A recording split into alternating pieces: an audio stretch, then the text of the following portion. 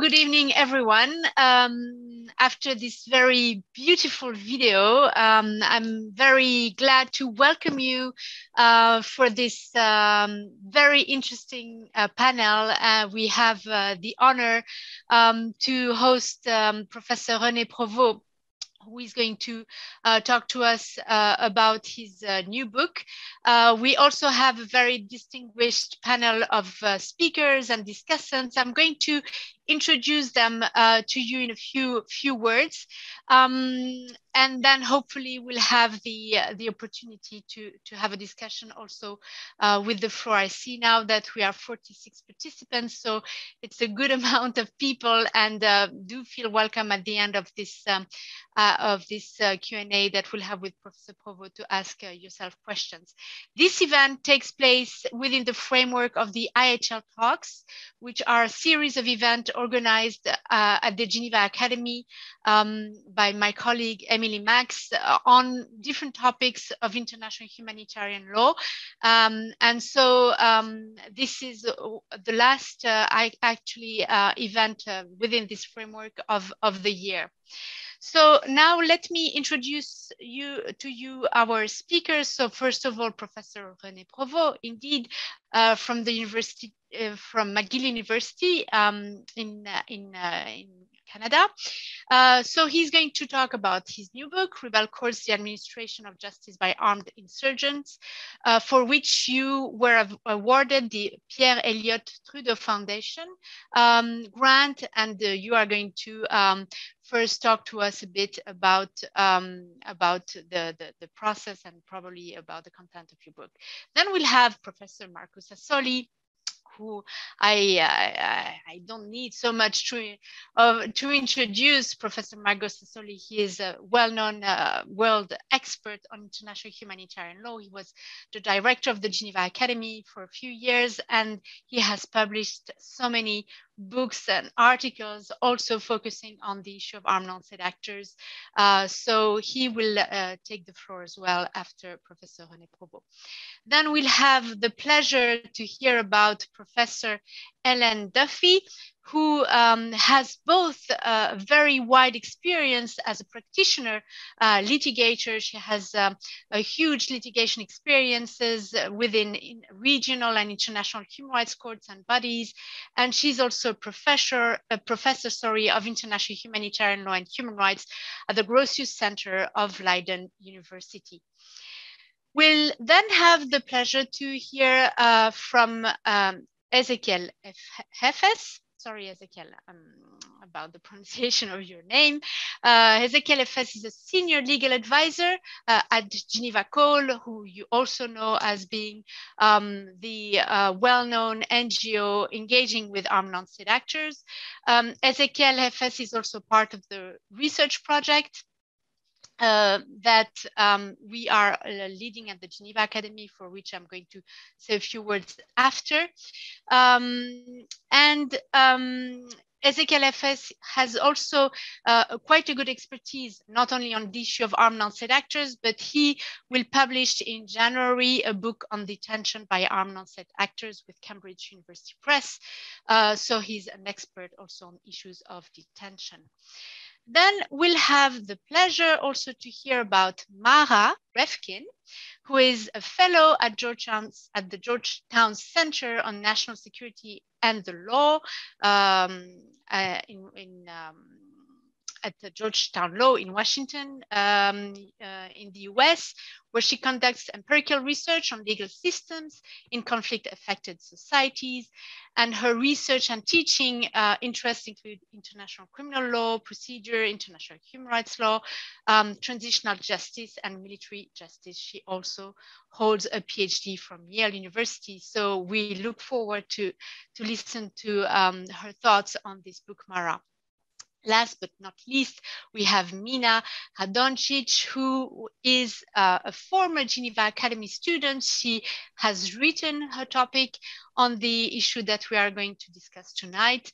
Uh, so Mina, uh, we are also um, looking forward to, to, to listening to your thoughts. So um, with that in mind, um, let us start with René. Uh, René, please introduce us to, to your book. Merci beaucoup, Anissa.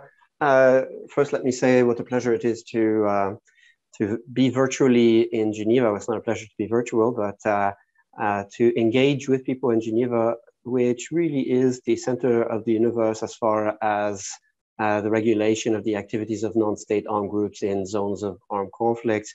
And I think the panel is uh, has a good sample of the kind of expertise that we find in in Geneva. So the book uh, uh, is on uh, rebel courts. And in the book, I start by telling the story of one man, uh, Omar Sakhanh, who is a Syrian, just an ordinary person who um, grew up, did his compulsory military service, but uh, otherwise had no connection to the regime, was uh, an electrician, and eventually was drawn to join the protest against the Assad regime and had to leave because of that uh, Syria to uh, Italy. And he returned uh, to join the fight and, and join one of the um, one of the opposition groups. And just four days after coming back to Syria and starting his participation in uh, the hostilities in, as part of one of the armed groups, um, while he was away, uh, a, uh, a, group of soldiers who had been detained by his group were uh, judged by a panel uh, uh, belonging to the, uh, to the armed group and condemned to be executed for murder and rape, applying the provisions of the Syrian Penal Code.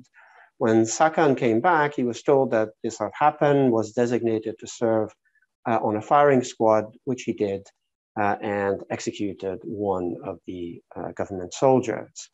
He later left uh, and became a refugee in Sweden. And a couple of years later, a video emerged of him executing this government soldier. And he was arrested and accused of murder as a war crime. And thus, uh, for uh, the Stockholm District Court was posed the very, very difficult question of what to do with this. And the book doesn't start, uh, doesn't originate in uh, this case because the case occurred about midway through the six years that it took to complete uh, the project. But it does capture a lot of the difficult questions that the book focuses on. The first is that it does happen. So this is a very common practice, very uh, widespread, long-standing, and yet one which has been basically overlooked um, by, uh, by governments and by international lawyers, reduced to uh, mere abuse of authority, one more violation of human rights that uh, non state armed groups associated often with terrorists uh, uh, are said to have uh, committed. And the credit goes to um, Jonathan Somer, who was then a graduate student at uh, the uh, Graduate Institute, supervised, I believe, by Marco uh, Sassoli, who uh, about 12 years ago wrote his uh, thesis, uh, his master's thesis on this phenomenon, and wrote an excellent thesis that was published in the International Review of the Red Cross. And this was followed by another very good piece by um, Sandesh Sivakumaran. Uh, and both pieces I thought were excellent. And I, as someone interested in legal pluralism, where law exists beyond the state, was absolutely fascinated by this idea of rebels creating their own courts. And, and that, was, that was more or less it, uh, because I thought that uh, Jonathan and uh, Sandesh had done a very good job analyzing IHL rules, and I didn't know that I had much to add. But eventually it became clear to me that they didn't know what they were talking about in a way. So, although excellent academic uh, uh, experts on IHL, they were speaking on a supposition, on a presumption of what the administration of justice might be, but actually nobody knew what that corresponded to. And so I became interested in trying to uh, uh, study the actual practice through a series of case studies that form part of what the book is about. So, detailed case studies on the FARC in Colombia, the Tamil Tigers in Sri Lanka, uh, the Islamic State in Iraq and Syria, the Taliban in Afghanistan, and the various Kurdish groups in Iraq, Turkey, and uh, Syria. So, the idea is that this is a phenomenon uh, that is little studied, little examined, but for which I think international law does provide standards that can uh, guide the behavior of armed groups and that can inform the way in which we understand uh, this kind of behavior. And the Sakhanh case shows how even other countries like Sweden get drawn into these very difficult legal issues, although they are not in any way involved in an armed conflict. So this is the project of the book is to merge a series of case studies uh, done on the basis of um, uh, some field work in different parts of, um, uh, of the world uh, with an analysis that merges international humanitarian law, human rights law, international criminal law, and uh, general principles of uh, international law. The whole informed by um, an approach rooted in legal pluralism, that uh, suggests the validity of a very wide ranging uh, vision of what law is. Because, of course, if we have a narrow understanding of what law is, none of this is law, and it makes for a very short conversation. So I think I'll stop here and let others take the floor. Excellent. Thank you very much, Renee. It always it already starts with some food for thought. So, Marco, Professor Sassoli, um, what did you think of the book? What are your impressions?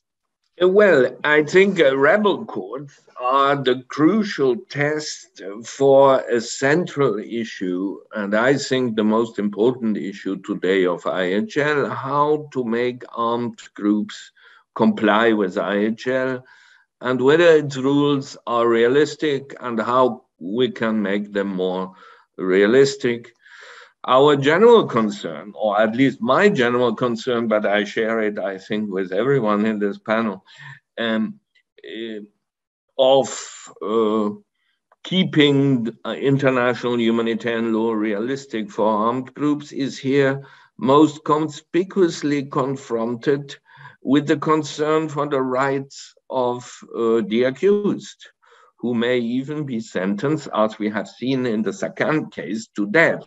So, um, while in many other fields we can say, okay, better some rules than nothing, and we have to be flexible, here there is quite a limit to the flexibility, which is uh, the rights of the accused. And I want to congratulate René.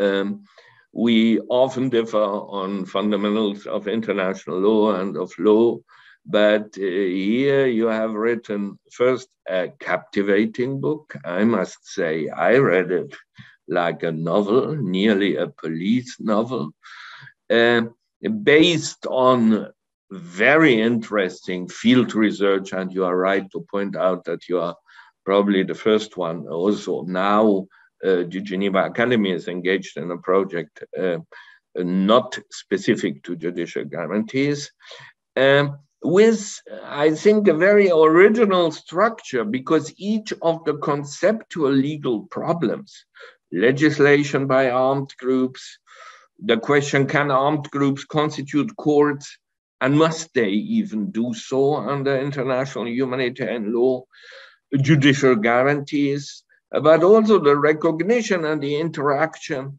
with others. All these conceptual legal problems are illustrated, and uh, I think at least we in this panel agree, developed because um, armed groups also contribute to IHL concerning them. Uh, also, the International Law Commission disagrees. Uh, taken one context uh, into account. So on each issue, uh, Rene chose one context. So on the first one, the FARC, then the second one, the so-called Islamic State armed group and uh, the Taliban. Uh, on the third one, the Ta Tamil Tigers.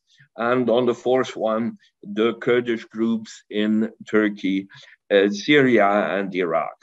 And all this is done in a very nuanced way. And this is again um, really a, a, merit because a lot of people um, dealing with armed groups, and sometimes I myself fall into the Stockholm syndrome that we somehow become too nice with armed groups and give a too rosy picture of armed groups and uh,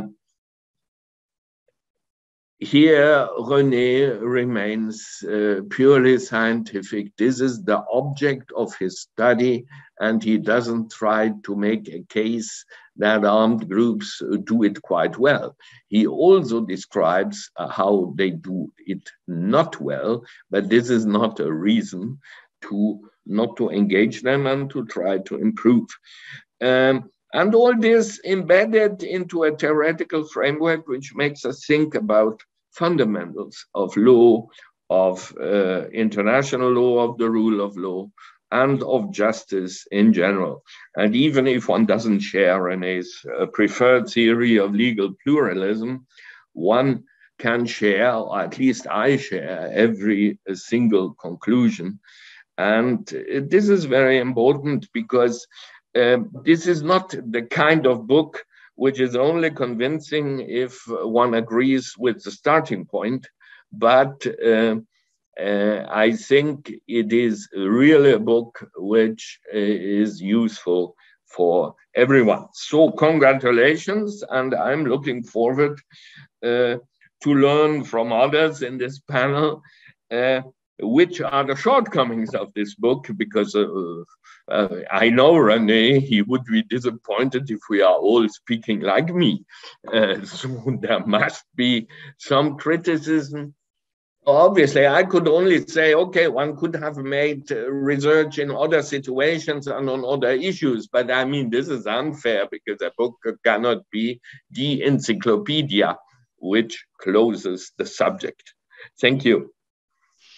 Thank you very much, Marco. Um, yes, I, I also uh, look for look forward to our discussion. I, I would like to hear now from Mara, and I know Mara from the past, and I have read some of your pieces that you worked on the Islamic State. Uh, so. Um, uh, what is your take on on on this uh, particular um, issue of uh, you know the rule of law uh, for some armed groups like the Islamic State? Please, Mara. Thanks so much for in, inviting me to, to attend, and uh, congratulations to Renee on this really important book. Um, uh, I, I, think you, you are building a really important bridge here between um, social science and legal scholarship that I think is, is going to be really beneficial for both fields. So in my field of political science, there are many, many descriptive projects um, that have quantitatively mapped out um, the different uh, justice mechanisms and systems of rebel groups, sometimes with quantitative data sets that are helpful for seeing broad patterns over time and space. Um, but those data sets don't tell us more, much more than sort of uh, the binary variable of yes or no. Does a does a rebel group have a justice system? Um, without really eliminating um, variation in different types of justice institutions and in um, procedural differences between them. So, for example, whether or not um, a defendant has the right to a lawyer or appeal, um, which they did not in the case of the Islamic State, um, but but in other rebel justice systems, um, there, there there are more uh, such rights. So, and I also think what you know a lot of the existing work has missed is differences in the quality and legitimacy of rebel legal institutions across different cases. Um, which is why I think the, the rich uh, case studies you present in the book are, are really such an important contribution and help us um, to, to understand the lived experience of civilians in these areas. So, um, in the case of the Islamic State, you, which you, uh, I, have done a fair amount of research on, um, and I agree with you on your conclusion um, based on the interviews that, that you've done. Um, I've done uh, some some uh, surveys and other research in Mosul and other areas of Iraq, indicating that many people, um, you know, perceive the Islamic State's justice system um, as harsh but fair. Um, and uh, and I found in Mosul that um, a significant proportion of the population, around 50%, um, thought that this legal system, um, you know, and system of governance was uh, better or at least less bad than the previous status quo under the Iraqi government's rule in terms of uh, the effectiveness of basic services and rule of law. Um, uh, as seen in the reduction of crime that occurred during um, the Islamic State's rule. Um, and its courts were generally perceived as faster and less corrupt than Iraqi state courts. Um, and even though, as you note, um, sentences were extremely harsh um, and, and, defendants were sometimes blindfolded and, and, you know did not had fewer rights than Iraqi state courts, including their lawyers, um, there was a perception initially uh, that, that the Islamic State at least followed its own rules and applied them to everyone somewhat equally, even its own fighters when they committed crimes against civilians, um, at least in the beginning, uh, the earliest period of the Islamic State's rule, which in, in, my work I refer to a kind of honeymoon period.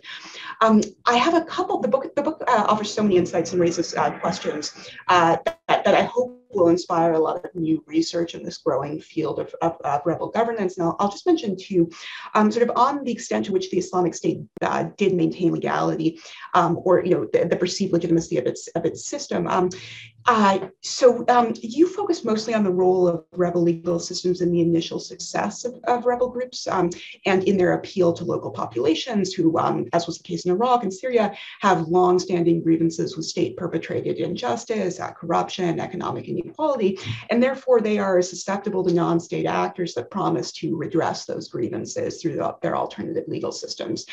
Um, but I think that the legal systems of rebel groups may also play a really important role in their eventual de decline and defeat um, if rebel groups over time uh, fail to fulfill their initial promises, um, which are often overly ambitious and unrealistic, um, and if the legality and fairness of their legal systems um, starts to decline, um, which I find evidence that it did in the case of the Islamic State, where uh, the the the group fighters became increasingly indisciplined, and courts were also less likely to punish them for misconduct over time, and there were growing reports of corruption, and that the Islamic State was committing many of the same abuses it accused the Iraqi and Syrian governments of doing.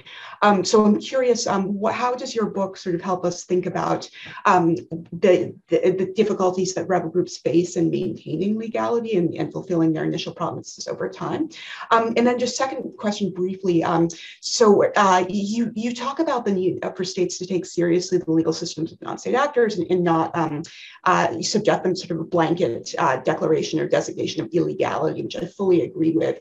Um, but I think there are some some important differences between um, uh, rebel groups like the Islamic State that actually embrace illegality, and that's a really important part of the Islamic State's ideology. It completely rejects the legitimacy of man-made states and international law and isn't seeking recognition.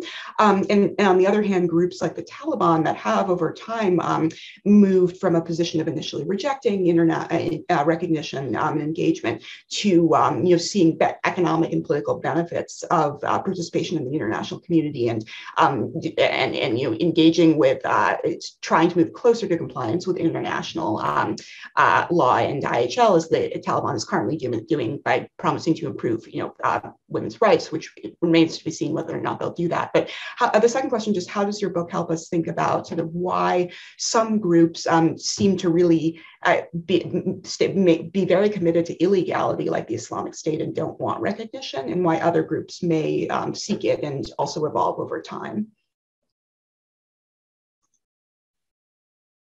So Yes, thank you, Mara. So illegality or another vision of the law, uh, let's see what uh, René will, will tell us about this uh, rather towards the end of, uh, of our round of uh, intervention here. Uh, so next speaker on the list is Helen. Um, Helen, you're a human rights practitioner. So what do you think about um, how armed groups you know consider the rights of the accused can can a court of an armed group actually uphold um, legally speaking the rights of the accused or other procedural rights in in um, in, in the process of uh, judging uh, detainees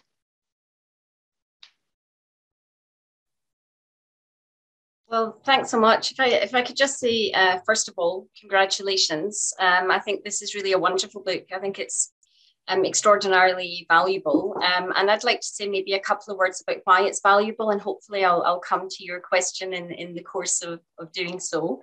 Um, I'm sorry if I can't be too critical. Marco's invited us to be uh, critical, and I'll do my best. I'll certainly throw in a couple of questions or areas where um, I felt perhaps a little more elaboration, uh, maybe uh, maybe welcome.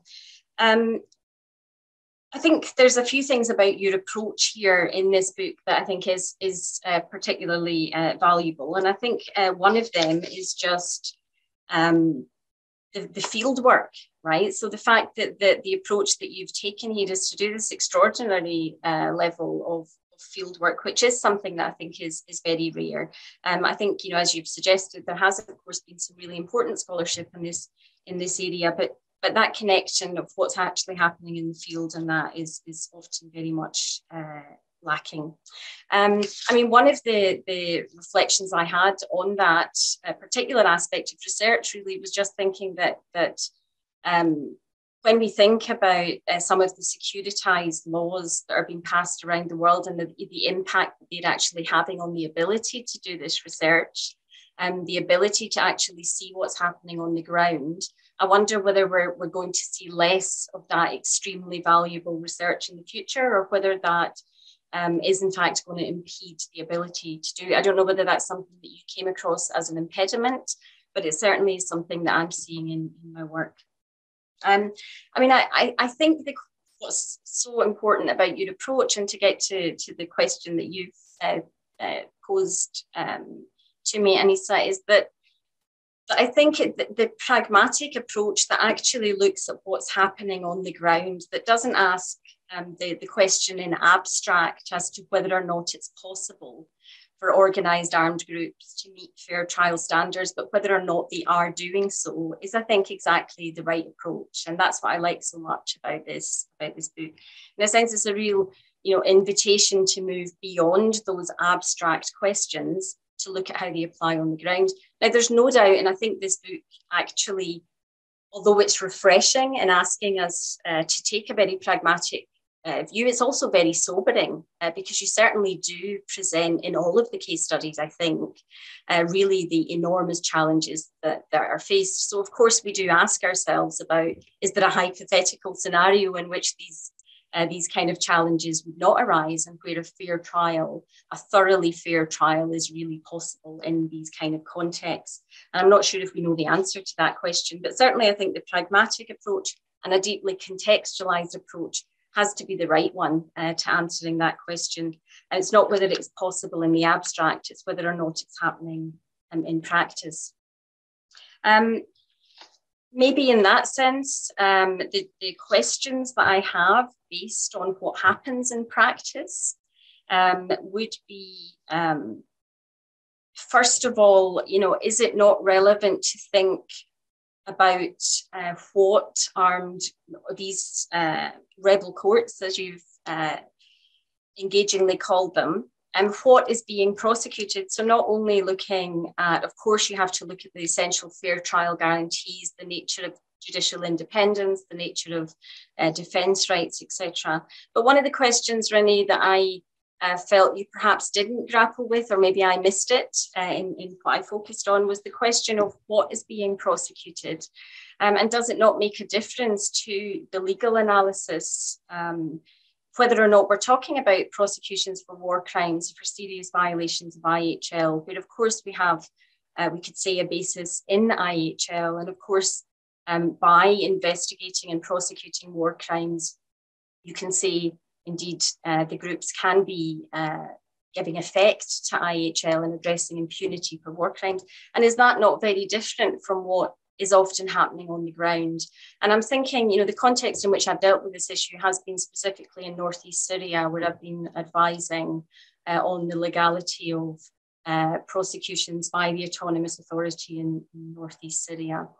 Um, and I think one of the difficult issues that, that comes up there, and of course it's one of your case studies, but is the fact that that so far as investigations and prosecutions are for terrorism and not for war crimes or crimes against humanity, for example, is that not really relevant to the question of legality, um, the fundamental questions really of, of fair trial? Now, of course, we could say that's happening all over the globe. States are, are uh, violating fair trial rights. In my view, they're undermining legality with their definitions of terrorism, etc. Um, but is there is there an issue that we need to look at there so far as there may be a trend towards the prosecution of terrorism, including by organised armed groups? And what will that mean so far as terrorism is often interpreted and applied in a way that means uh, prosecuting opposition in a sense, because that is, I think, also a global phenomenon that we see. So, does the nature of the crimes matter? Is something that I really wanted your reflections on, René, and perhaps specifically the terrorism one. And then I think just the other question, and this also goes to the reality of can can these organised armed groups secure fair trials or not? And of course, it all depends. But I would say, and certainly my focus again has been in Northeast Syria and, and in that particular context, where of course the Autonomous Authority said we want, uh, they announced a year ago, didn't they, that we want to uh, investigate and prosecute in a way that's consistent with the rule of law, but we'll need international support to do it. And so the question then becomes uh, the role of other states.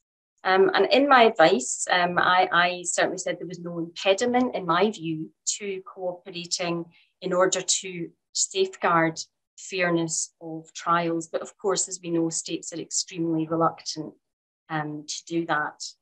Um, René, I felt that you went beyond uh, that, and I think you're suggesting that there may even be an obligation on other states to provide cooperation uh, where um, the fairness of trials and the legitimacy of the process really depends upon that cooperation. And I wondered if you could say a little bit more about the legal basis for that and the significance of that as, as you see it. I think that's enough from, from me just now, except to say congratulations. I can tell you from my work, this will be used. The only annoying thing about your book is that it came out uh, just after my advice had been submitted but beyond that, I congratulate you and it's extremely useful. Excellent. Thank you, Helen. Uh, yes, indeed. You know, an armed group judging other armed group for terrorism can can indeed be problematic, and it's uh, it's uh, it's a very good question to ask. Um, Ezequiel, um, as you know, senior legal advisor, as a practitioner, as a scholar, um, do you think that um, this book, you know, will be useful to your work? Does it match your own conclusions and your own research that you have been doing, or do you have um, any um, points that might either contradict or not um, René's findings? Thank you very much, uh, Annyssa. Thank you for putting this panel together and for inviting me to share some thoughts. And, and congratulations, René. I think it's a fantastic work.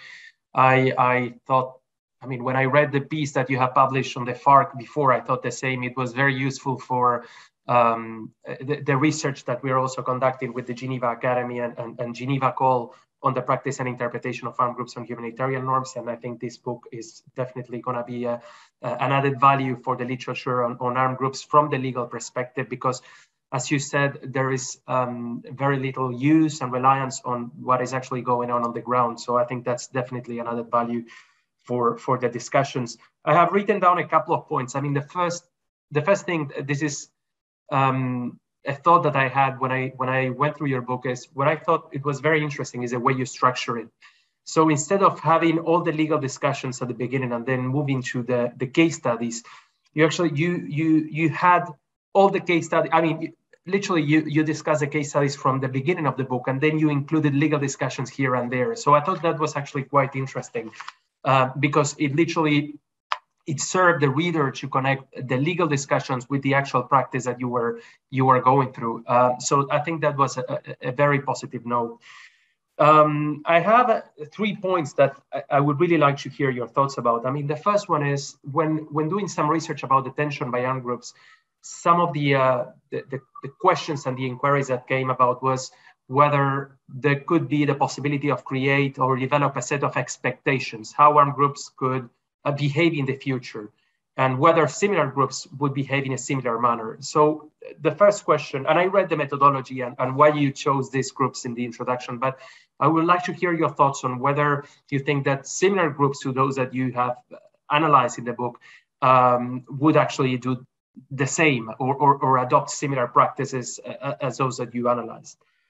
Um, then there are two, two questions that uh, I, I thought that were quite relevant um, because these are issues that have been discussed uh, in the legal realm in a couple of in the last couple of years. And the first one is the whole discussion about nexus and whether all activities uh, taking place in the territories controlled by armed groups are regulated exclusively by IHL uh, because they are uh, related to the conflict, or if there could be activities uh, happening in the territories controlled by armed groups that um, are do not have a nexus uh, to the conflict and are therefore regulated by another body of law. And here you, um, at page 167, for those who want to read this, you you actually adopt the, the, the a, a, position in which um, you claim that because non-state armed groups are created uh, for the purpose of, of um, making war, then everything happening in the territory is controlled by uh, armed groups are regulated by IHL. And this is in line of uh, what the uh, ICRC has said in the challenges report in 2019. So in the last few years, this has been this uh, kind of a tension in this field.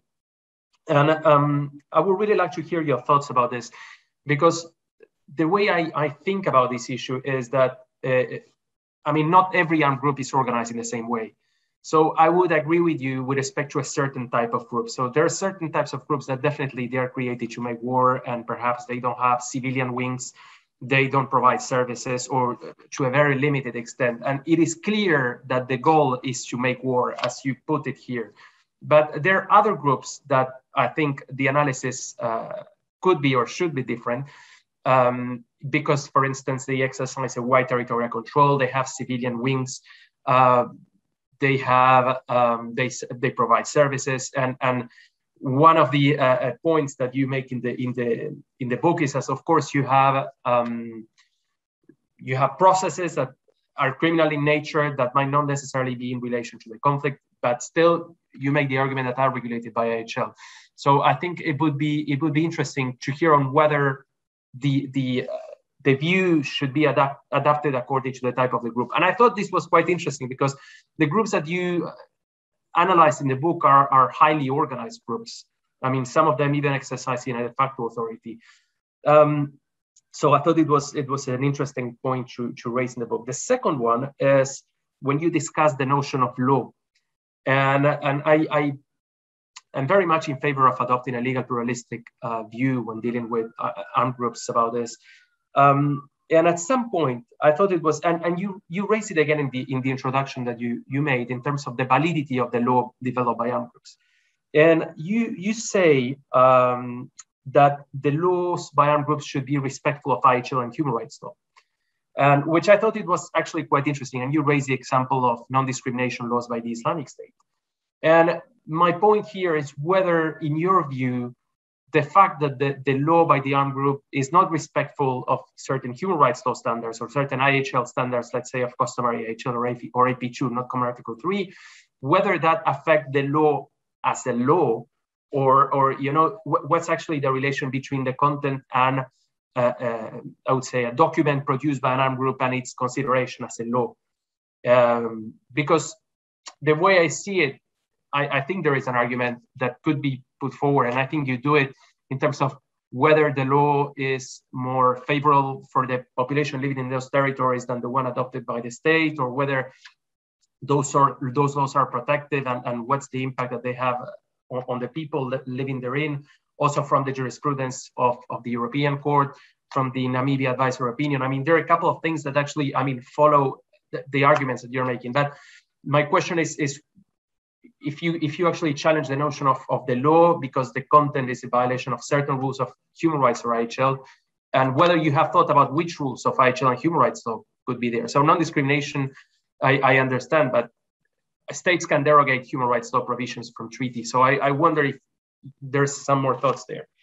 Um, I think that's it. I mean, I thought it was a great addition. Uh, and, and these points are just because, again, they relate to some of the research I have done and and I find that it's it's definitely an added value to have a book dealing both from the legal perspectives and the practical perspectives on on this. Um, so again, congratulations and and thank you very much for this. Thank you, Ezequiel. So I hear you. We have to get a good inspiration from uh, René's methodology and structure for our own research. And I think that's already a good thing for us. Um, so uh, last but not least uh, in this panel, um, let us hear about you, Mina. Um, how, what did you think about René's book? Was it useful for your own research, also your own writings? Uh, was it, you know, um, do, is there any limitation to what he wanted to show? What is your take on this, Mina? Well, thank you very much, Dr. Bellal, for giving me the floor and, and for inviting me to this panel. I, I must say that it, it is really a true honor and pleasure for me to be participating in this event today and, and have a chance to somehow comment on this book as well. Um, so as mentioned in the in the beginning, I did have a chance to to become familiar with this topic upon writing my LLM paper just uh, just a few months ago under the supervision of Professor Sassoli. And um, I do remember coming to my first consultations in, in mid-March and the professor telling me basically two things. Um, the good news is that there is a book coming out soon on exactly this topic that is going to be very valuable for your research and uh, see the practice of rebel courts. But the bad news is that you will already have submitted your paper by then. Um, so there, I was very excited about being uh, able to read the book when once it is published and being able to compare some of the theoretical findings that I tried to outline in my paper with the reality on the ground. And in total, I could say that this book contributed to revisiting my work later uh, on the on this topic in in three ways. And the first one being enabling me a change in perspective, then providing me with a more in-depth analysis of the law and granting me insight into the practice. Um, as to provide for a bit of a background, in the paper, I was trying to outline how the sliding scale of obligations approach could specifically be applied to the rebel administration of justice. And I identified the main parameters that influence the capacity of non-state armed groups to generally establish governance in, in one form or another. And there I tried to transpose these criteria to establishing the scope of judicial guarantees that would be expected of, of which non-state armed groups. And um, I would say that the key challenge upon conducting this framework uh, that I encountered was that due to the scarce compre comprehensive bibliography on the practice of rebel courts, I was not sure of how to adequately assess the non-state armed groups capacity, meaning which elements should I account for and, and to what extent, um, being sort of a balance between the capacity and the will of non-state armed groups to, to actually grant and uphold these judicial guarantees. Um, apart from that, I must say that the background limitation that I became aware of only upon reading Professor Provost's book was my personal bias and the taking of states as the main reference point as to what is the meaning of notions, such as the rule of law, law in general, and courts. Therein, it made me realize that while I did acknowledge and was on board with the debates on how, against the state centric perception, international law needs to deal with the so called not a cat syndrome, I was constantly trying to make something that is obviously not a cat look like a cat. Um, therefore, the first point that this book enabled me was insight into the need for a paradigm shift in order to effectively tackle the reality of armed conflict in respect of rebel governance. Therein, we see in Professor Provost's book that uh, he calls us to rethink the notions of sovereignty and state monopoly over the creation of the law, and how these two interact with the possibility of rebel administration of justice. Further, he underlines a more adequate umbrella approach of legal pluralism, as well as rethinking the content of rule of law that is in line with the actor that is supposed to uphold it, highlighting that although the framework might be the same, the rule of law in national and international terms substantively is not the same. And likewise, the one of non-state armed groups does not correspond to these traditional categories. So when it comes to the legal analysis, the book offers a thorough and comprehensive overview of the position of rebel courts in international law. Um, I believe that it provides a reconsideration of some of the key elements that are prerequisite as to establish the legal frameworks against which we can assess their legality. And here I would like to mm, just highlight some of them. The first one being moving from an understanding of belligerent equality in its formal to one of substantive terms. And there, um, further, as Ezequiel mentioned, outlining the nexus requirements stemming from IHL in both its objective and subjective sense, and arguing that it is met in all cases when it comes to rebel administration of justice. And the third one being rethinking the limits of the personal and material scope of jurisdiction of such courts pursuant to public international law. And going beyond these questions, I believe that the author makes us reach further and think of how different rules of law interact, placing justice governance within the broader realm of international rule of law. And Professor Provost eventually flips the coin of analysis, making us rethink how it interacts with the duties of states, finding that in order for states to act in line with their obligations to first ensure respect for IHL and second, secure human rights, they must not only abstain from obstructing the functioning of rebel courts, but also take a positive action that is within their possibilities so as to bring these systems in compliance with international law. And ultimately, and I think maybe most importantly, through offering thorough case studies of some examples of rebel justice, I believe that this book helps the reader understand two things. In the first place, that neither armed groups nor their courts are uniform. And the second one being that the shape of rebel governance is not uniform across their area of influence, really fluctuating both across space and time, including in terms of its relationship with the state authorities and the population. And this leads me to my second point, insofar as the book helps get the message across with regards to population agency, looking into how much the population resorts to rebel justice mechanisms in order to address their grievances, both within the population, but also against the actions of the group members. Therefore, I think that Professor Provost's book guided me through thinking what might be reasonably expected from non-state armed groups based on existing practice. And if not giving me a solution, then definitely provided me with food for thought on how differently due process guarantees can be conceived. Um, so having these points in mind and many others that could not fit within these five minutes, I wish to thank Professor Provost and congratulate him on this valuable contribution to the literature on the topic. I would just have one question regarding your view on the interlinks between criminal and civil justice. Because at one point you say at, uh, in the book that the nexus requirement in case of non-state armed group trials is satisfied for IHL in both civil and criminal justice. And then at a different point, you move to state that if the non-state armed group establishes broader governance over an area, administration of justice must be one of its components. And there, you, do you consider that administration of justice should always include both the civil and the criminal component? Or would you sort of say allow one or the other to remain solely in the hands of the state? And there, when you say that the regimes of IHL and human rights should be braided together, do you believe that they should mean the same in cases of civil and criminal justice? Or would you apply deferring standards when assessing the substantive content of the judicial guarantees that they uphold? Thank you very much. Thank you very much, Mina, for this also uh, thorough review and very interesting question indeed. I mean, civil justice and the link with, with the link with IHL and the nexus issue is also something that uh, I, would be interesting to to to hear um, about.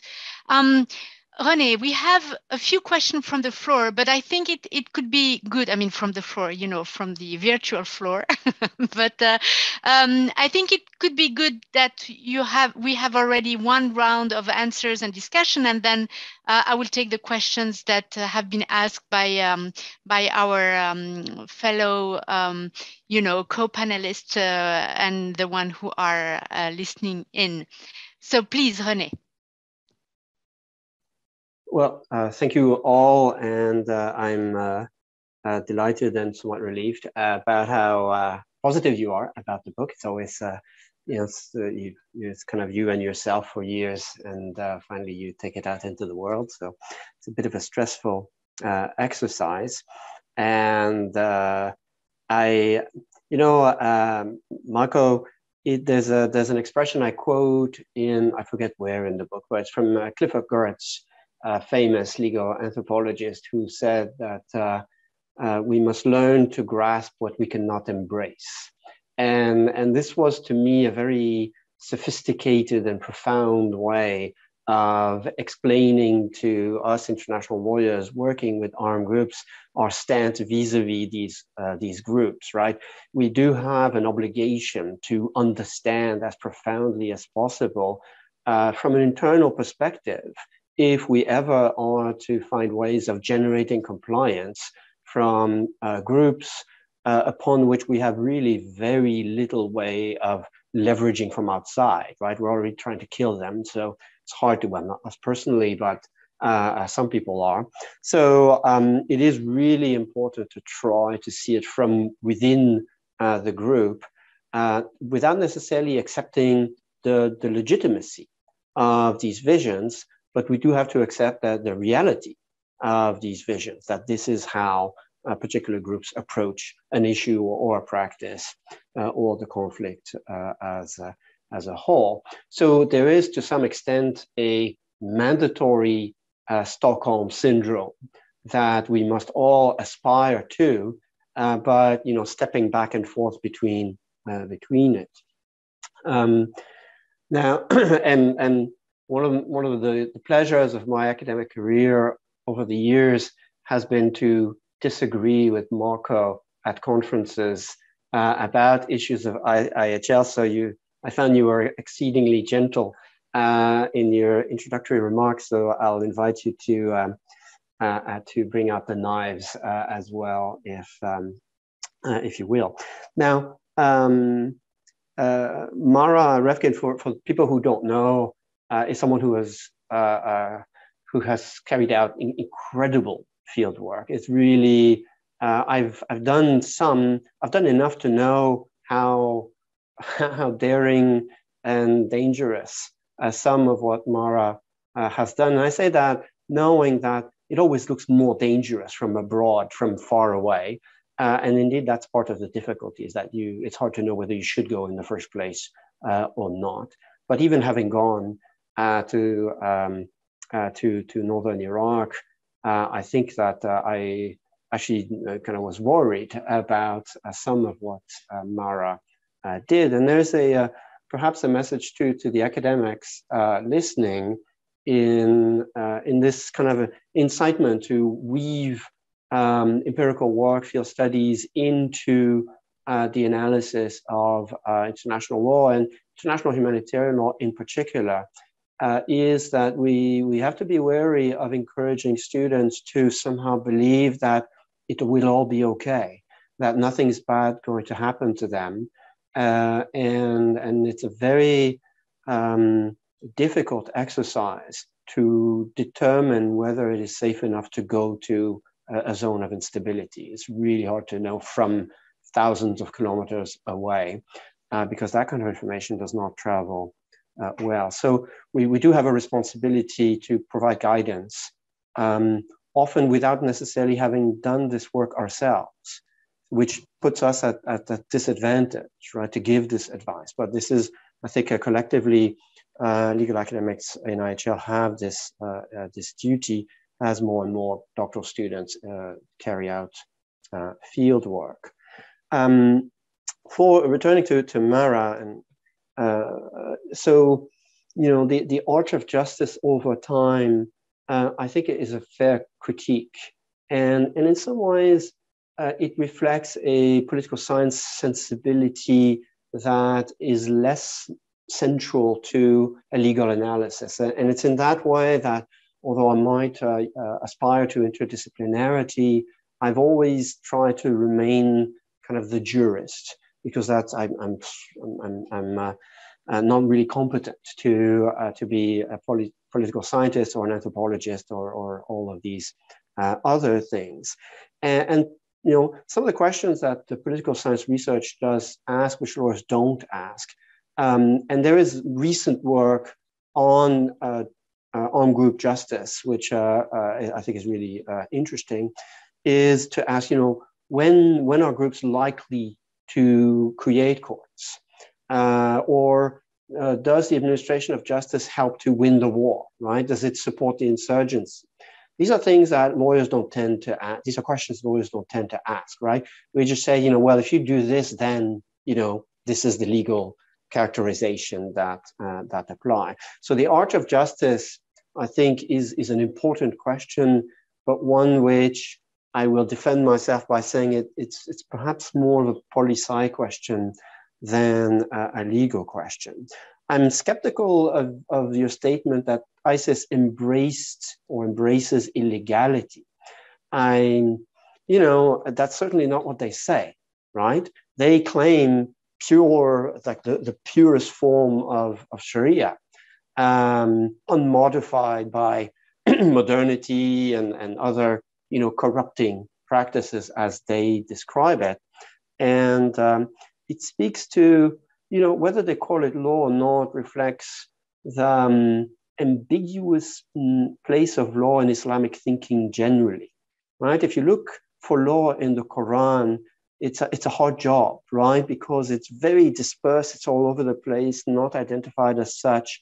And so there is a, um, it, it reflects a, a more profound questions about, you know, what do we mean by law and the the universal validity of a single concept of law that animates international law for, for us international lawyers, um, it, which poses a challenge that is not necessarily so central for a political scientist, right? Because for you, what's law is, is you know, it doesn't matter.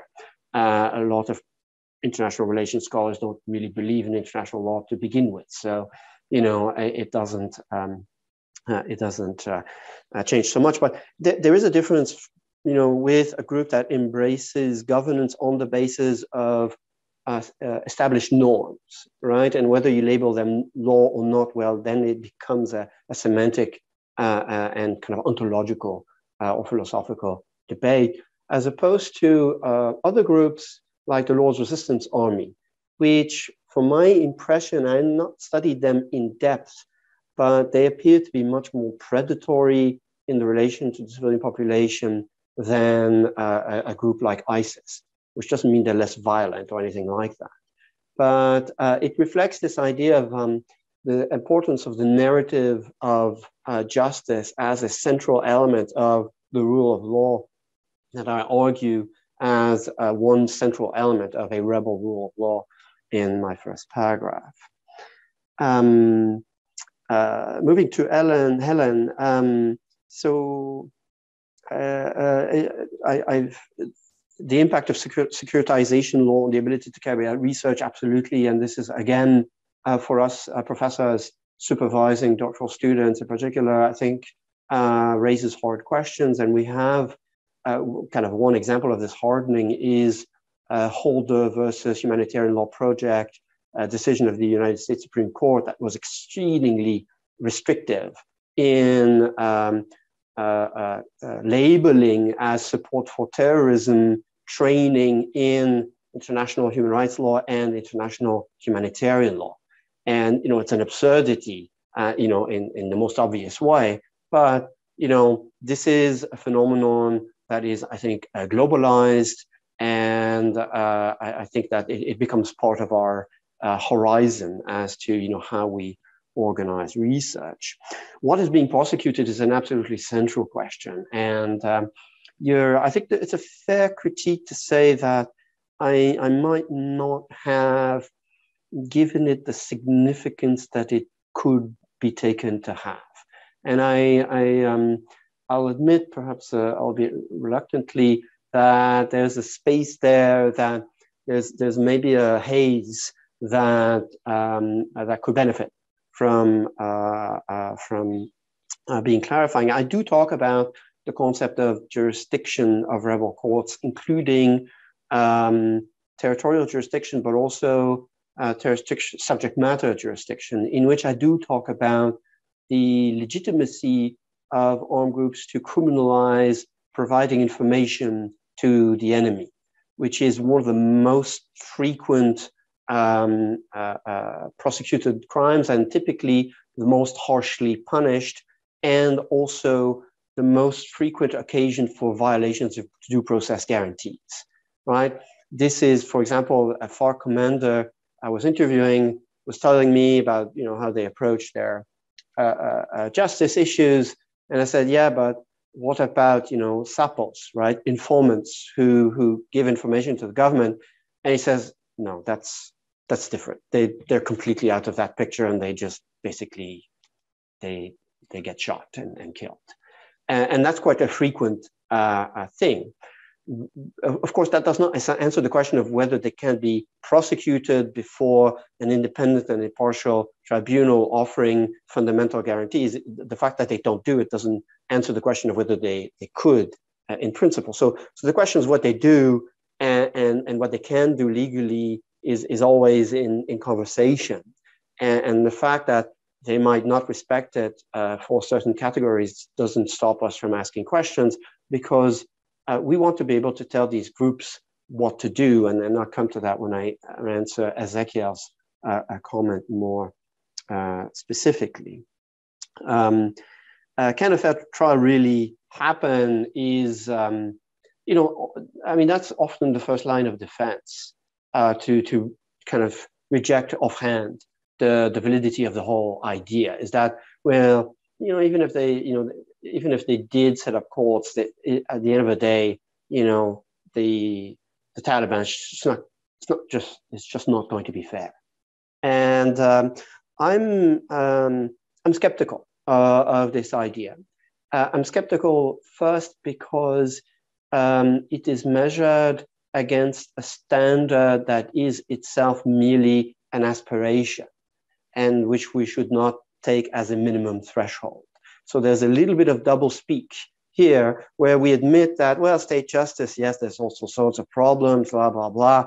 And, and then when we say, okay, what should rebel justice be? Well, we have this super high threshold, and anything less than that, well, obviously it's not going to be real justice. So, you know, when you, you compare the, the courts in Rojava in northeastern Syria run by the, the Kurdish-led administration, you know, you got to compare them to the Syrian government courts. And really, you know, that's an enlightening comparison. And, and so we have to take into consideration the fact that this is happening in conflict zones with groups that are not states that have limited uh, resources. Uh, should or, or could state uh, provide assistance? You say you don't see an impediment. Um, is there a duty to help? And you, you invited me to, to respond. Uh, I think the, the interesting example there is France and their stance vis-a-vis French nationals who joined uh, ISIS as foreign fighters in uh, Syria, who are detained by uh, the uh, uh, administration in Rojava. And um, the, the French foreign minister, uh, Le Drian, said that he wishes these people to be um, judged locally. And he's wonderfully ambiguous about what he means, but we know he doesn't mean the courts of the government of Syria. And we know he means the courts, the Kurdish uh, courts in Rojava. Now, then, then we become into, we get into really technical human rights uh, law about how to define human rights jurisdiction under the uh, both the European Convention and the ICCPR, and whether the fact that these are French national, which has been found to play a role in jurisdictional analysis by uh, the uh, Committee on Rights of the Child recently, actually. Um, the fact that, you know, France is not a part, right? They, the, the Kurds have said many times they would like nothing more than to get rid of these people, right? Please, French, France, come and get your nationals and, you know, we'll give them to you. And France is in a way indirectly delegating to to a non-state owned group the prosecution of war crimes by its own citizens. So for me, this is starting to you know, build elements that go towards human rights jurisdiction. And then if we ask the question of, well, how does the duty to ensure respect in IHL kind of intersect with human rights law? Well, probably in, in IHL, we're not going to be so demanding as human rights is to have human rights jurisdiction.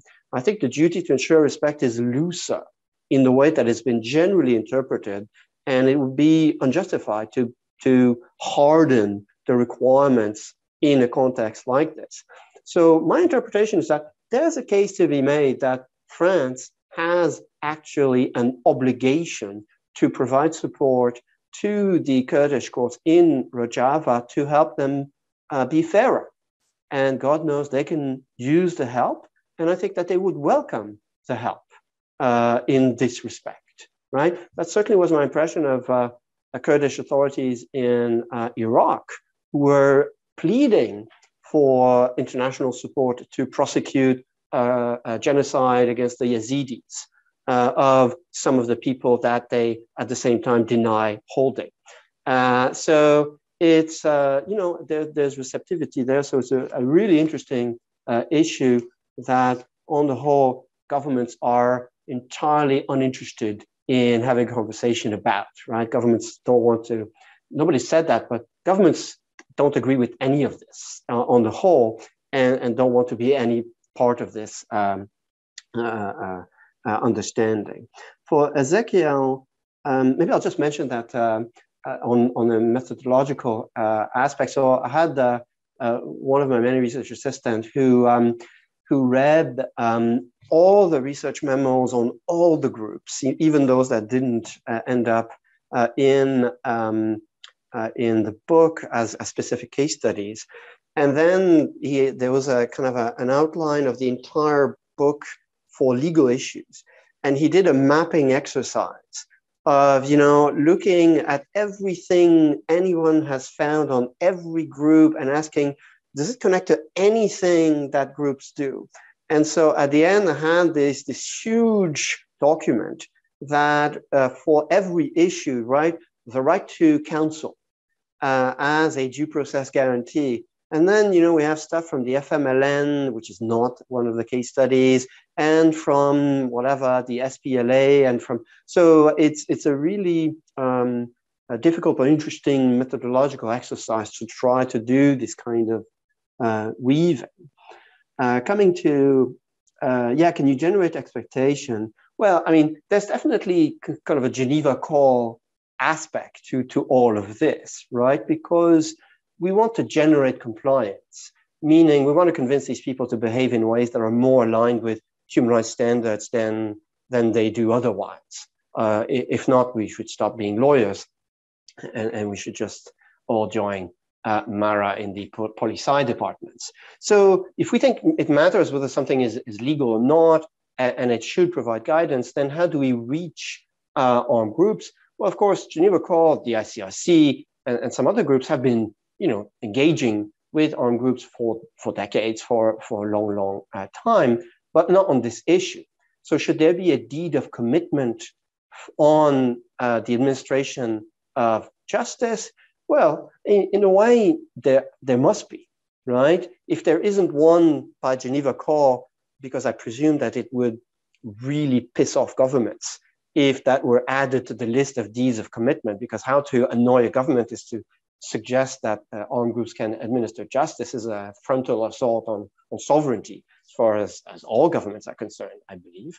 Uh, but, um, but, you know, we, we have to put it in the vernacular of particular groups, right? And so, and this connects to, to something Mara has said as well. So, so for the Taliban, right, we have to translate it not just into Pashtun, but into Sharia as well, right? And so there is a profoundly transcultural or intercultural dimension to this project that I, I didn't go into, right? I have another book on the impact of cultural diversity on IHL that I've been writing for 22 years now, and uh, I, I, have not finished yet.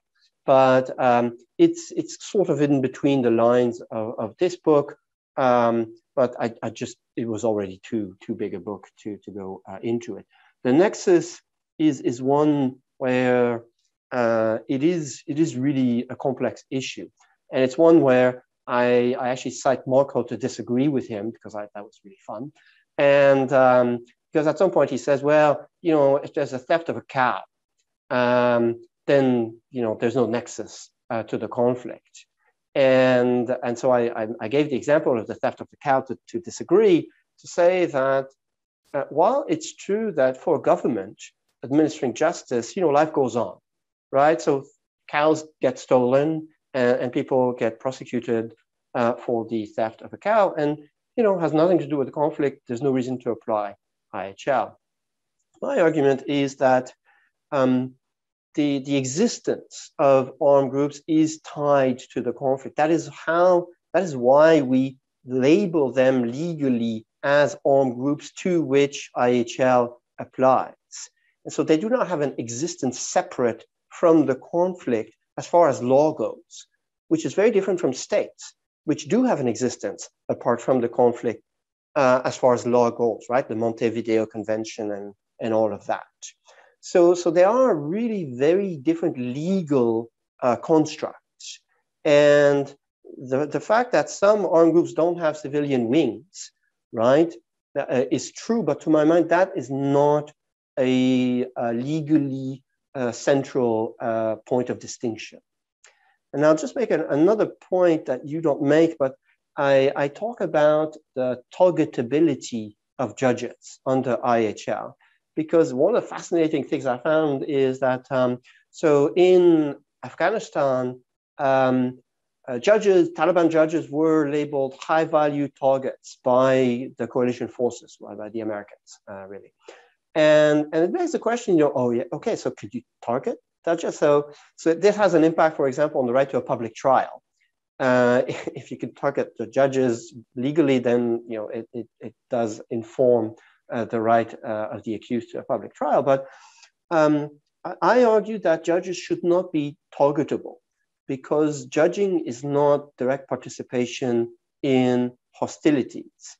uh, which to my mind is not a contradiction with saying that what they do has a nexus to the conflict under IHL. It's, it's a subtle distinction, and I was afraid people would get confused. So I did my best to explain that this wasn't quite the same thing, but it's it's easy to to to and and these are not disconnected, right? Admittedly, these are the, these are the, there's an overlap between these uh, these concepts.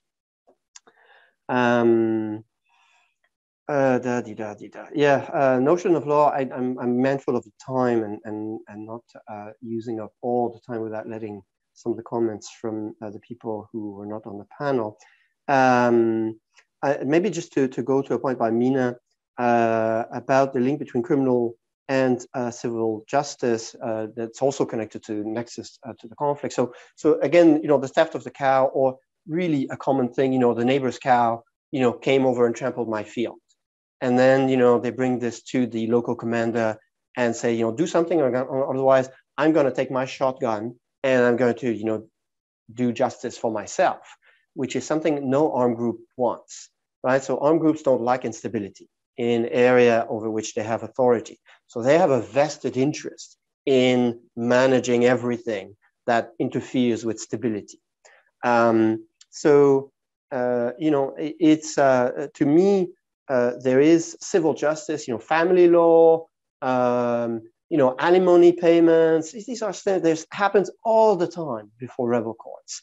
But uh, because of uh, the IHR standards in the Geneva Conventions and protocols that are really focused on criminal prosecutions, uh, human rights uh, IHL lawyers have been focused on criminal law. and, and I think that it's a, an error. And, and we really, and I, I did my best. I, it's one of the parts of the book I'm less satisfied with. I wished I had more to say about civil jurisdiction and um, uh, uh, you know others have written uh, interestingly uh, I think uh, about this um, uh, recently and um, so but in, in principle I, I, maintain my stance in, in answer to to Ezequiel that um, everything a rebel court does including ordering alimony payments, is related to the conflict. And so IHL does apply. Of course, there's no nexus for human rights law. So, you know, we're not troubled by that aspect. And, and the whole thing is, is an interplay. I mean, there's a kind of an overrepresentation of IHL people, uh, perhaps on, on the panel, uh, but, uh, you know, human rights is, is equally important to all of this. So let me stop here. Excellent. Thank you very much, René. So we can expect a rebel courts number two, right? That's what you're saying.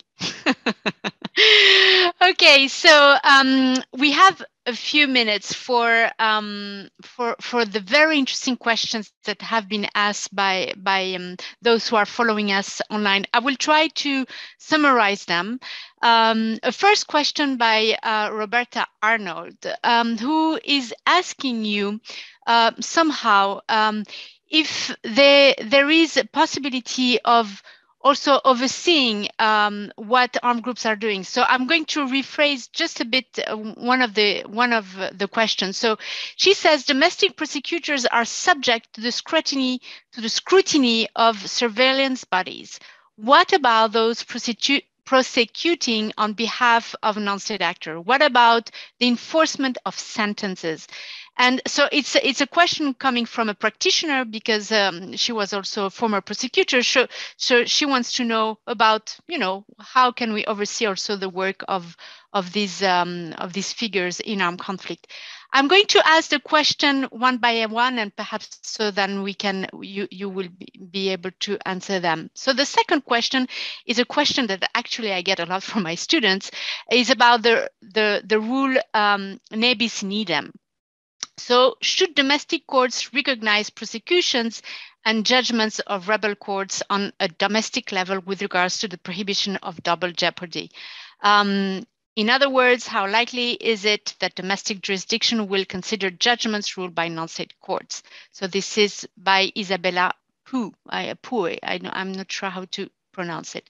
A question by John Nucciarone, who is telling us, so um, so let me try to, to summarize it as well because these are long questions. So, so I'm going to read it. Um, the idea of giving legitimacy to the legal process and non-state actors like the Islamic State is difficult to accept, but it would lead one, or so he at least, to give importance to things such as how non-state actors conduct themselves when judging the other side should be used as evidence if and when they are put on trial, whether by a government or international tribunal. And two, how important is it to ensure the West holds itself to high standards when using force, for instance, calling in drone strikes or when judging the conduct of their own soldiers and just as importantly, to ensure our review processes are open, transparent, and fact-checked at different stages. Um, then we have uh, another question by Fabian Wilches who asks us, who ask you, if the administration of justice by armed groups would change depending if they have control over territory or not, because some armed groups have control over territory, and but but and then institute courts but then you have also armed groups that do not control territory and how then this would work um, then we have one question by olivia herman who asks us what can be ways to influence non-state armed groups to uphold fair trial standards and other principles such as impartiality, neutrality, independence in their administration of justice? And last but not least, um, Carson Thomas asks you, during your uh, field work, did you encounter armed groups whose courts considered issues of taxation by the armed groups, e.g. pecuniary demands made and enforced by armed groups upon the local populations? Given the importance and often sophistication of such financial arrangements, I wonder if related disputes are ever adjudicated by the courts of the armed groups. And then Mara has also, you know, answered you um, your question, but I, I will leave this um, for, for later if we have the time. So these are uh, the questions that I see. Um, yes, I think I've asked all the questions. Okay, so so let me offer some uh, uh, some comment. So uh, uh oversight of uh, the administration of justice speaks to you know the solidity of governance and and the extent to which it it is realistic to think that an armed group in a conflict zone can meet the rigorous demands that flow from uh, uh, uh, due process guarantees, in particular human rights in general, and NIHL, about things like the independence and impartiality of, of a court. So the, you know, there are, um, so there are two ways of answering this. The first is to say these standards have to be adjusted to the fact that these are not states, right? It is clear that if we put on armed groups demands uh, that were designed for states. In fact, standards that are a reflection of what states do, um, then obviously there's going to be a mismatch, right? So state justice, uh, due process guarantees are in many ways a description of the way states administer justice. And so unsurprisingly, they are very state centric. And when we shift to look at what other uh, processes for the administration of justice uh, do, whether it's rebel courts or whether it's you know things like the Gacaca uh, in post-genocide uh, Rwanda or the very many uh, customary uh, tribunals in uh, uh, large parts of Africa that handle you know a, a vast majority of, of uh, legal disputes. these standards don't make any sense. So there has we do have to translate these legal standards from state centric to uh, reflect the nature of the actors and also of the context in which they, uh, they operate. And I, I remind everyone, of course, that uh, due process guarantees are not non derogable standards directly under international human rights law. Uh, and so this is a, a matter of contention within human rights law. Uh, and I won't get into the, the technical side of that but um, it's so it is acknowledged at least to some to some extent that uh, a state of emergency uh, with war as the ultimate state of emergency uh, is a, condition in which governments themselves acknowledge that, well, yes, we might have to, to make uh, adjustments. And looking at the practice of uh, military courts uh, on the battlefield is something that I've done a few times in the book as an interesting parallel to reflect at least the context, if not the actor. So, um, so the, the standards have to be adjusted. Uh, is it, um, uh, let, let me start by, you know, how do we oversee the enforcement of sentences? That's the easiest part. Sentences are really, really complied with because um, those are armed groups that on the whole are, uh, don't hesitate to resort to extreme violence very quickly.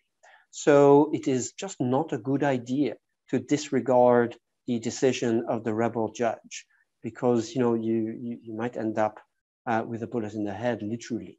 So there's a, an extraordinarily high degree of compliance uh, on the whole for decisions of rebel courts, much higher than of state courts. Uh, I might uh, I might say places like Afghanistan, a state court judgment means really not much, but a statement, a judgment of a Taliban court, on the other hand, now that you disregard at your peril. Uh, staying in Afghanistan, uh, is an example of how there is a possibility of oversight. So uh, there, um, uh, uh, uh there's a, a, a French uh, social scientist, Adam Baczko, who's done fantastic work on the Taliban. Has published his book in, in French, but he's, he tells me he's working at translating it. And um, his um, research suggests that the the judges are independent of the local commanders and that the, the one is used against the other has a check uh, and balance mechanism so that local villagers in principle can complain about the commander to the judge and about the judge to the commander. Now, whether it actually always works in this way is, you know, probably a, a question to be verified. It's unlikely that it always uh, works, but there are mechanisms uh, that do exist uh, that do provide for um, the possibility of uh, oversight. Now, um, uh, Ne bis uh, uh, in idem, uh, Isabelle Pugh's question, or, or, or, double jeopardy is, a, is really an important question. it also relates to issues like complementarity with the International Criminal Court in relation to a decision of a rebel uh, court, something I have a little bit of fun uh, with uh, in uh, chapter four. The part of the problem is that the, the, the, the legal concept of uh, double jeopardy or ne bis in idem is fuzzy, right? There's very little agreement as to what it demands under international law. And um, it's normally taken to have a really quite narrow ambit of preventing prosecution for the same crime before the same jurisdiction, right? So the same state prosecuting the same person for the same crime twice. Now, the question then becomes are rebels the same jurisdiction as the state, right? So, were the Tamil Tigers the same jurisdiction as the government of Sri Lanka? Uh, I, I, I think that's not really a defensible position to claim that they are right? I think the, these are distinct jurisdictions. So the, the principle, the human rights principle itself of ne bis in idem doesn't prevent uh, double prosecution before the rebel courts and state court, um, whether it's one way or the other. And you know, we see that in the United States, for example, where double jeopardy does not apply uh, to prosecutions before state courts and federal courts right? If you can get prosecuted before both sets of courts for the same crime, well, for the same action, that will you know be a, a state crime on, in one way and a, federal crime in a different way. So with that example, we see that states themselves have a very flexible, let's say, uh, a definition of what is a violation of um, the ne bis idem uh, principle.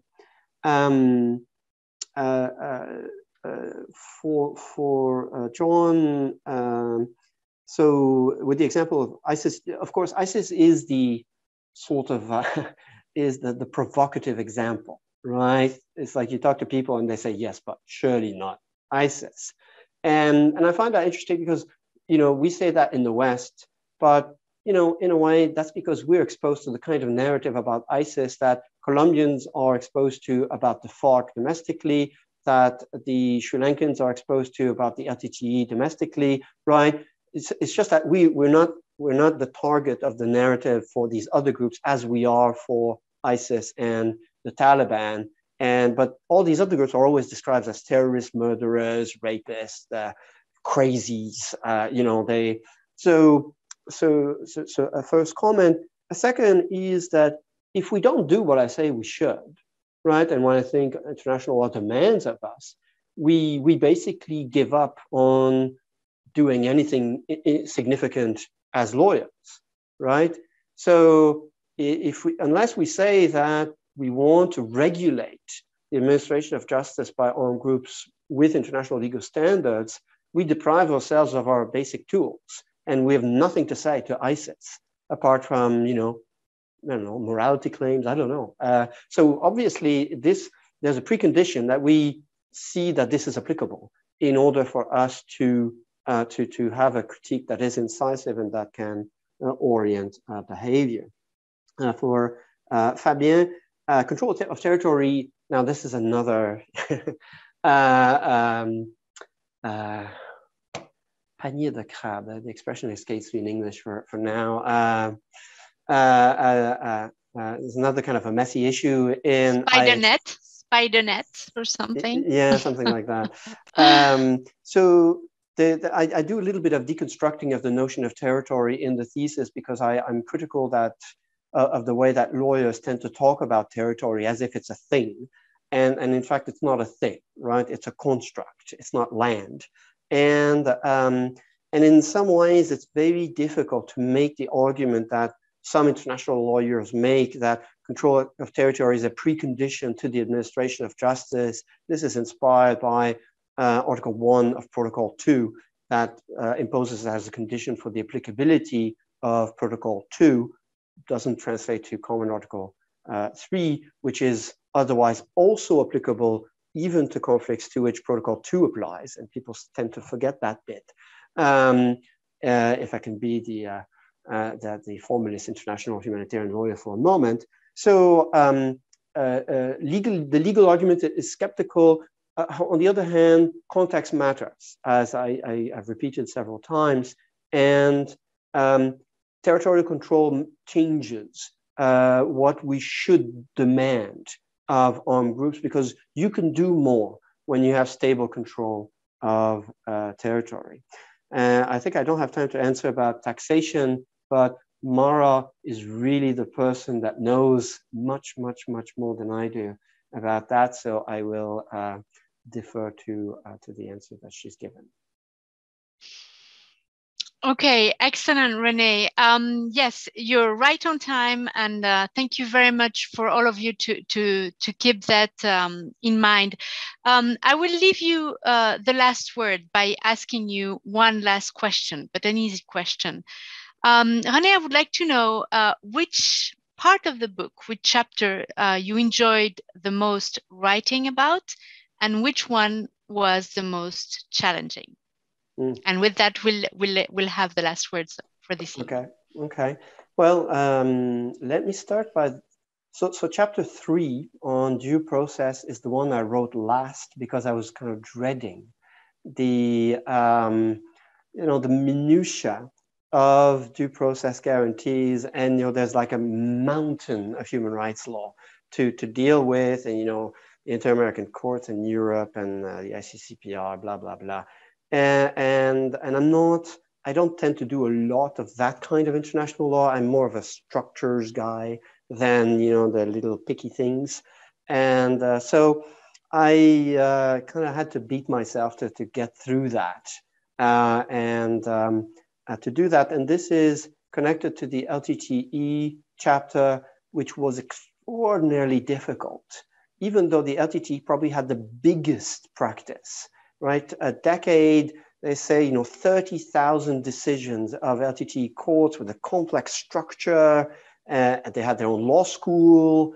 Um, so it ought to have been the easiest, and it turned out to be the most difficult, in large part because the Sri Lankan government was really effective at destroying all remnants uh, of that and terrifying anyone who, uh, who could talk about it. The most uh, fun, I think it's chapter four, uh, about the what I call the rayonnement, and uh, because it's somewhat counterintuitive, and, and things like the exploration of the ways in which even the territorial state itself, uh, you know, even Sri Lanka has to deal with judgments of the uh, LTTE courts in ways that is unacknowledged in Sri Lanka itself, and, and likewise in Colombia, where judgments of um, FARC um, uh, commanders were written into uh, the decision books of uh, local authorities and kind of fed into the official legal system. To me, that was the most subversive aspect of uh, rebel court, if, if the uh, statement isn't too contradictory. Uh, and, and, I enjoyed that uh, very much. And no, they, I, am not planning for a second edition. It nearly killed me to, to finish the first one. No, I, I was teasing you, but thank you very much, René, for this. So I, I really um, encourage all of you to, to read uh, this fantastic book. Um, you know, uh, as Marco put it, it's uh, as easy to read as a criminal novel. So you can John read it Grisham. over Yes, exactly. So you can read it during your Christmas break. Uh, you'll have fun. But uh, um, joke apart, it's it's a great book which uh, is very useful for those working on this issue, and it will it will be very useful for us, Ezequiel and Pascal Bongard and the Geneva Academy uh, Geneva Call, which we are working on on a similar um, topic. So I wish we'd had more time to discuss. Um, thanks to all of the panelists who also, you know, took uh, the time to to comment on your book and to ask questions.